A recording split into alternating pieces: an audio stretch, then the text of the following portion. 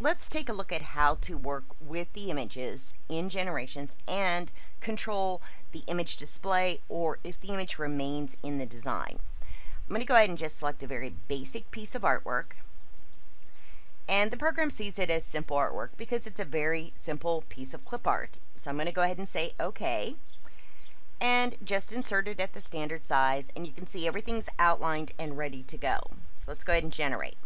Now before I move on to the image, let me explain a couple of things. The yellow center on the flower here is yellow because it's matched to my thread catalog that I've selected. So I'm going to go ahead and change that color. So now it's green. And I've got this dashed outline in the background. That technically is an area that's not been created. And if I right click on that area, the white area in the image, you can see it's flashing.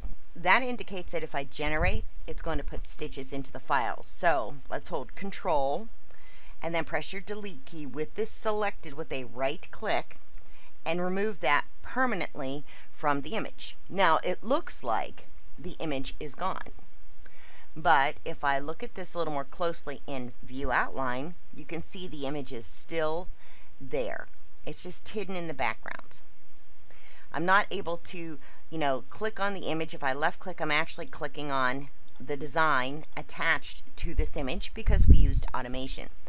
So to get rid of the image, I just have to press one button in this. Um, and that is to get rid of the image permanently.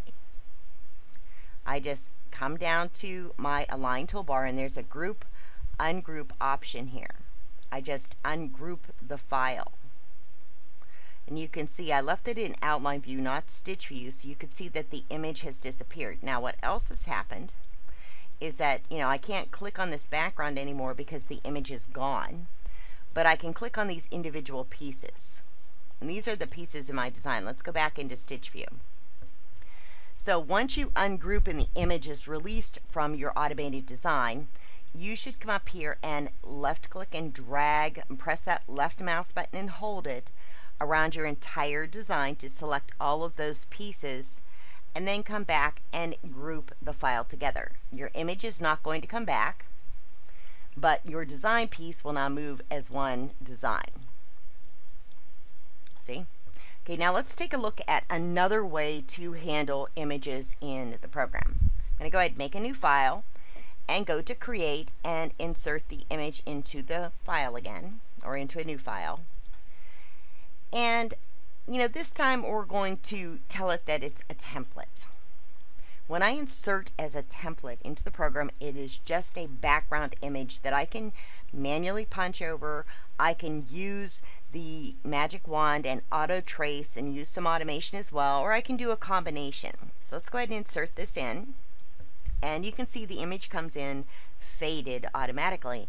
And that is because the program assumes that you want to you know, manually punch an image that's been inserted. Now, just because the image is faded doesn't mean that my tools aren't active. Like my, you know, magic wand will still see this color as one color section.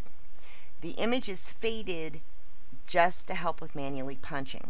If I want to make the image a little more intense or unfade the image, I press the plus key on my keyboard and the image will be unfaded on my screen. Now if I want to fade the image, I press the minus key on my keyboard and I can fade the image to a very faint shadowed background. Now, whether it's faded or unfaded, my magic wand is going to work. And the way to, you know, create an area with the magic wand is just to click on it. You can adjust the color if you need to. But I wanted to go ahead and show you how to get rid of the image here. So I'm going to create those three sections and that last little section and we'll change the color. Okay, so there is my design again and I've now used the semi-automation or I could have manually punched it. But let's take a look at what's going on with the image. If I go up to view outline again, my image is still there. The difference this time is that when I left click and I get the square around this, I'm not getting these design pieces. I'm just getting the image. And I can left click, pull that image away to make sure that nothing's attached to it in case you use some automation. And I can just press the delete key to remove the image from the design. And because we didn't use the automation, there is no white background this time. Only the pieces we selected have been created. So now I've removed my image. Now there is one more thing that you can do, and I'm going to go ahead and, you know, just delete or remove that delete of the image. Okay, if I really don't want to see the image, but I don't necessarily want to remove the image from the file, I can use another option in the program and just come up to your toolbar up here and hide the image. The image is still technically there. It's just hidden from my view. You'll see a square around it indicating that there's something there. And you can always unhide it as you need that. So those are several ways to control your images in the design file. So remember, if you've used the automation and your image is showing, everything is attached to that image. To remove it, you just simply come down to the ungroup option and ungroup that and what you will have will be just the pieces of your design. It's a good idea to left click and hold the mouse button down, drag around it and regroup the design pieces knowing that you know they'll move as one design again but the image will not come back. Now there is one more thing on an image that you can do. There are um, times when you put the image in and you're manually punching or you're using the automation and the image just, you know, you bump it and it moves. And you have to go back and you have to do the undo thing. So we'll go ahead and we'll, you know, create an area.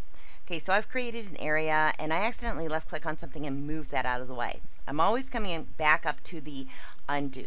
Now if I want to lock this image in place while I create my design, I go to edit and lock image. The design's still there. You know, I can still use the automation and create the design very quickly, but I won't be able to get to the design or the image behind the design, I guess, um, even though it's still there. You can see it's still there. The reason is that I've locked the image, so no big deal. Whether you're in outline view or stitch view, it makes no difference. Just go up to edit and remove the check mark next to lock image. So now I can left click on that image and I can press the delete key and get rid of it as well. I hope this has been helpful on controlling your images and how to work with the faded image settings.